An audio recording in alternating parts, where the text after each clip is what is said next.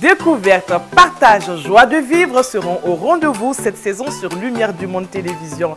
Eh bien parce que les femmes, les enfants, en un mot, la famille sera à l'honneur. Je vous donne rendez-vous bientôt pour de grandes émotions.